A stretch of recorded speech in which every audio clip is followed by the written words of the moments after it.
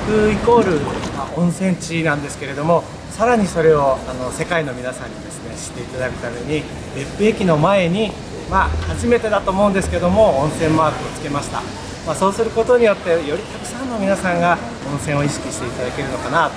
まあ、そのお客様が来てああやっぱり温泉地別府に来たんだというふうに思っていただければありがたいかなと思います。